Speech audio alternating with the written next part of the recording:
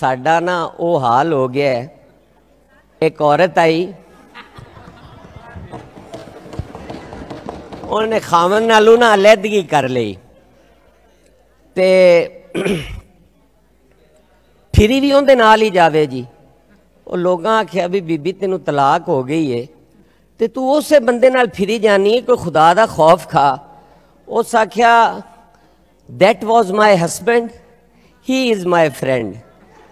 ਜਨਾਬ ਇਹ ਸਪੀਕਰ ਇਹ ਹਾਲ ਹੈ ਇਸ ਹਕੂਮਤ ਦਾ। ਹਕੂਮਤ ਦਾ ਤੇ ਨਹੀਂ ਖਾਸ ਕਰਕੇ ਪੀਟੀਆਈ ਦੇ ਉਹਨਾਂ ਜਵਾਨਾਂ ਦਾ ਜਿਨ੍ਹਾਂ ਨੇ ਖਾਨ ਨਾਲ ਇਖਤਲਾਫ ਵੀ ਕੀਤਾ ਹੈ ਔਰ ਆਂਦੇ ਨੇ ਕਿ ਅਸੀਂ ਖਾਨ ਦੇ ਫਾਲੋਅਰ ਖਾਨ ਦੇ ਹੀ ਆ ਲੇਕਿਨ ਉਹਦੀਆਂ ਪਾਲਿਸੀਆਂ ਨਾਲ ਅਸੀਂ ਇਤਫਾਕ ਨਹੀਂ ਕਰਦੇ। ਜਨਾਬ ਸਪੀਕਰ ਮੈਂ ਅਰਜ਼ ਕਰ ਰਿਹਾ ਸਾਂ ਬਲਦਿਆਤੀ ਨਿਜ਼ਾਮ ਦੇ ਹਵਾਲੇ ਨਾਲ।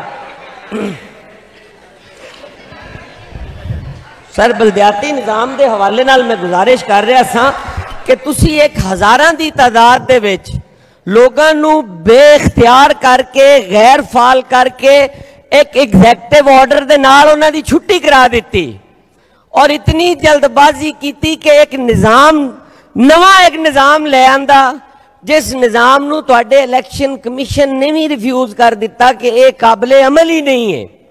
ਫਿਰ ਤੁਸੀਂ ਇੱਕ ਹੋਰ ਅਟੈਂਪਟ ਕੀਤੀ ਇਸ ਦੌਰਾਨ ਸੁਪਰੀਮ ਕੋਰਟ ਆਫ ਪਾਕਿਸਤਾਨ ਦਾ ਡਿਸੀਜਨ ਆਇਆ ਔਰ ਉਹਨਾਂ ਨੇ ਉਹਨਾਂ ਨੂੰ ਬਹਾਲ ਕਰ ਦਿੱਤਾ ਮੈਂ ਸਹਿਮਾਨ ਦੇ ਵਿੱਚ ਬੈਠੇ ਹੋਏ ਇੱਕ ਇੱਕ ਬੰਦੇ ਕੋਲੋਂ ਪੁੱਛਣਾ ਕਿ ਆ ਅਸੀਂ ਇੱਥੇ ਜਿਹੜਾ ਬੈਠੇ ਆ ਅਸੀਂ ਕਿਸੇ ਆਇਨ ਦੇ ਤਾਬੇ ਬੈਠੇ ਆ ਅਸੀਂ ਇੱਥੇ ਕਿਸੇ ਅਦਾਲਤ ਦੇ ਅਦਾਲਤ ਨੂੰ ਅਸੀਂ تسلیم ਨਹੀਂ ਕਰਨਾ ਅਸੀਂ ਕਿਹੜੇ ਆਇਨ ਦੀ ਪਾਸਦਾਰੀ ਕਰ ਰਹੇ ਆ ਕਿ ਅਸੀਂ ਕਿਸੇ ਅਦਾਲਤੀ ਹੁਕਮ ਦੀ ਵੀ ਪਾਸਦਾਰੀ ਨਹੀਂ ਕਰਦੇ।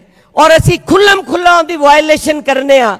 ਜਦੋਂ ਸੁਪਰੀਮ ਕੋਰਟ ਆਫ ਪਾਕਿਸਤਾਨ ਨੇ ਬਲਦਿਆਤੀ ਸਿਸਟਮ ਨੂੰ ਬਹਾਲ ਕੀਤਾ, ਕਿਆ ਕਿਸੇ ਵੀ ਹਕੂਮਤ ਦੀ ਇਹ ਜੁਰਤ ਹੋਣੀ ਚਾਹੀਦੀ ਹੈ ਕਿ ਉਸ ਹੁਕਮ ਨੂੰ ਉਬੇ ਨਾ ਕੀਤਾ ਜਾਵੇ?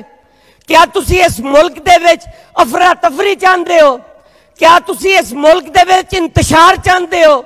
ਕਿਆ ਤੁਸੀਂ ਚਾਹੁੰਦੇ ਹੋ ਕਿ ਸੁਪਰੀਮ ਕੋਰਟ ਦੇ ਉਹਨਾਂ ਆਰਡਰਸ ਦੇ ਨਾਲ ਉਹ ਲੋਕ ਜਾ ਕੇ ਔਰ ਤੁਹਾਡੀ ਜ਼ਿਲ੍ਹੀ ਇੰਤਜ਼ਾਮੀਆ ਦੇ ਖਿਲਾਫ ਜੰਗ ਲੜਨ ਉਹ ਜ਼ਬਰਦਸਤੀ ਉਹਨਾਂ ਦਫ਼ਤਰਾਂ ਤੇ ਕਬਜ਼ਾ ਕਰਨ ਉਹ ਜ਼ਬਰਦਸਤੀ ਆਪਣੇ ਇਖਤਿਆਰਾਤ ਦਾ ਇਸਤੇਮਾਲ ਕਰਨ ਕਿਆ ਤੁਸੀਂ ਇਸ ਮੁਲਕ ਦੇ ਵਿੱਚ ਇੰਤਸ਼ਾਰ ਚਾਹੁੰਦੇ ਹੋ ਤੁਹਾਡੀ ਇਸ ਹਕੂਮਤ ਨੇ ਹਕ- ਸੁਪਰੀਮ ਕੋਰਟ ਆਫ ਪਾਕਿਸਤਾਨ ਦੀ ਵੀ ਤੋਹੀਨ ਕੀਤੀ ਅਵਾਮੀ ਮੈਂਡੇਟ ਦੀ ਵੀ ਤੋਹੀਨ ਔਰ ਮਜ਼ਾਕ ਉਡਾਇਆ ਮੈਂ ਅੱਜ ਉਹਨਾਂ तमाम ਬਲਦਿਆਤੀ ਇਦਾਰਿਆਂ ਦੇ ਸਰਬਰਾਹਾਂ ਨੂੰ ਆਖਣਾ ਕਿ ਉਹ ਜਾਵਣ, ਉਹ ਬਾ ਇਖਤਿਆਰ ਨੇ, ਉਹ ਸੁਪਰੀਮ ਕੋਰਟ ਦੇ ਆਰਡਰਸ ਨਾਲ ਬਹਾਲ ਨੇ, ਉਹ ਆਪਣੇ ਆਪਣੇ ਦਫਾਤਰ ਦਾ ਚਾਰਜ ਵੀ ਲਵਣ ਔਰ ਅਵਾਮੀ ਖਿਦਮਤ ਵੀ ਕਰਨ।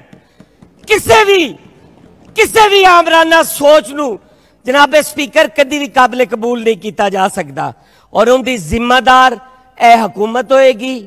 ਅਗਰ ਕਿਸੇ ਜਗ੍ਹਾ ਤੇ ਵੀ ਕੋਈ ਗਮਲਾ ਟੁੱਟੇਗਾ ਤੇ ਉਹਦਾ ਜ਼ਿੰਮੇਦਾਰ ਵਜ਼ੀਰ ਆਲਾ ਪੰਜਾਬ ਹੋਏਗਾ। ਕਿਉਂਕਿ ਉਹ ਇੱਕ ਅਦਾਲਤ ਦੇ ਹੁਕਮ ਨਾਲ ਜਾ ਕੇ ਆਪਣੇ ਦਫ਼ਤਰਾਂ ਦੇ ਚਾਰਜ ਲੈਣਗੇ। ਇਹ ਕੌਣ ਹੁੰਦੇ ਨੇ? ਉਹਨਾਂ ਨੂੰ ਰੋਕਣ ਵਾਲੇ। ਇਹ ਕੌਣ ਹੁੰਦੇ ਨੇ ਜਿਹੜਾ ਇਹ ਆਖਣ ਕਿ ਕਿਸੇ ਜਗ੍ਹਾ ਤੇ ਸਫ਼ਾਈ ਨਾ ਹੋਵੇ?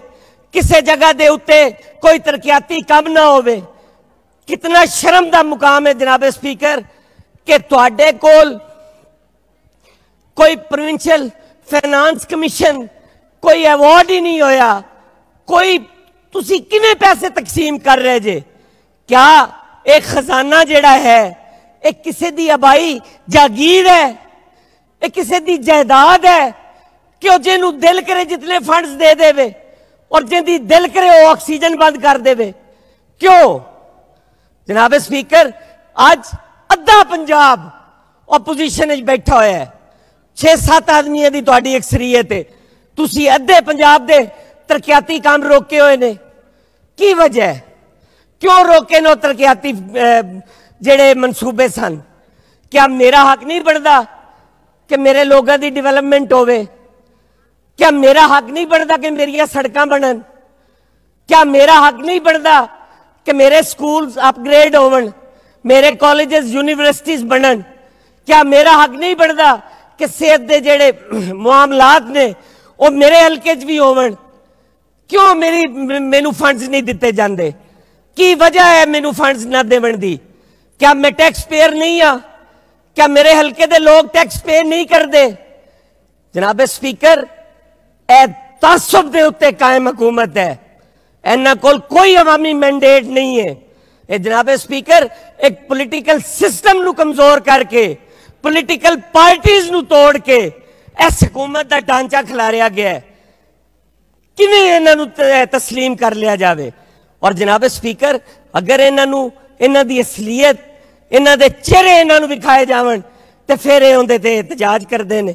ਫਿਰ ਜੋ ਕੌਮੀ ਅਸੈਂਬਲੀ ਦੇ ਅੰਦਰ ਹੋਇਆ ਕਿਆ ਉਹ ਕੋਈ ਜਮਹੂਰੀ ਰਵਈਆ ਸੀ? ਇਹ ਪਹਿਲੀ ਹਕੂਮਤ ਵੇਖੀ ਹੈ ਜਨਾਬ ਸਪੀਕਰ, ਜਿਹੜੀ ਆਪੋਜੀਸ਼ਨ ਤੇ ਹਮਲੇ ਕਰ ਰਹੀ ਹੈ। ਇਹ ਪਹਿਲੀ ਹਕੂਮਤ ਵੇਖੀ ਹੈ, ਜਿਹੜੀ ਕਿਤਾਬ ਦੇ ਤਕੱਦਸ ਨੂੰ ਪਾਮਾਲ ਕਰ ਰਹੀ ਹੈ। ਇਹ ਪਹਿਲੀ ਹਕੂਮਤ ਵੇਖੀ ਹੈ ਜਿਹੜੀ ਗਾਲੀ ਗਲੋਚ ਦੇ ਕਲਚਰ ਨੂੰ ਫਰੋਗ ਦੇ ਰਹੀ ਹੈ ਜਨਾਬ ਸਪੀਕਰ, ਇਹ ਇਹ ਜ਼ਿਆਦਤੀਆਂ ਨੇ। ਇੱਥੇ ਬਜਟ ਦੇ ਅਦਾਦੋ ਸ਼ੁਮਾਰ ਕੀ? ਇਹ ਤੁਸੀਂ ਇਹ ਕਿਤਾਬ ਪਾਸ ਕਰਨੀ ਹੈ ਪੂਰੀ ਕਿਤਾਬ ਚੁੱਕ ਕੇ ਤੁਸੀਂ ਇਹਨੂੰ ਪਾਸ ਕਰ ਦੇਣਾ ਸਾਡੇ 'ਚ ਬੈਠਾ ਹੋਇਆ ਇੱਕ ਮੈਂਬਰ ਇਹ ਤਾਕਤ ਨਹੀਂ ਰੱਖਦਾ ਕਿ ਅਸੀਂ ਇਹਦਾ ਇੱਕ ਸਫਾ ਵੀ, ਬਲਕਿ ਇੱਕ ਫਿਗਰ ਵੀ ਅਸੀਂ ਕਹਿ ਦੇਵੀਏ ਕਿ ਅਸੀਂ ਪਾਸ ਨਹੀਂ ਕਰਦੇ। ਜਨਾਬ ਸਪੀਕਰ, ਤੁਸੀਂ ਮੇਰਾ ਉਹ ਚੈਲੰਜ ਡਾਕੂਮੈਂਟ ਜਿਹੜਾ ਹੈ ਉਹ ਕਮੇਟੀ ਦੇ ਸਪੁਰਦ ਕੀਤਾ ਹੈ, ਉਹਦੇ ਬਾਵਜੂਦ ਬਜਟ ਪਾਸ ਹੋ ਕੇ ਕਮੇਟੀ ਦੀ ਇੱਕ ਮੀਟਿੰਗ ਨਹੀਂ ਹੋ ਸਕੀ ਜਨਾਬ ਸਪੀਕਰ ਇਸ ਨਿਜ਼ਾਮ ਨੂੰ ਦਰੁਸਤ ਹੋਣਾ ਚਾਹੀਦਾ ਹੈ